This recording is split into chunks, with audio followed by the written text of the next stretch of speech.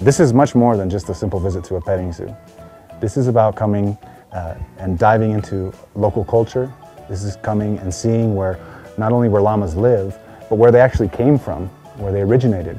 Uh, meeting local people who care for them every day and have for generations.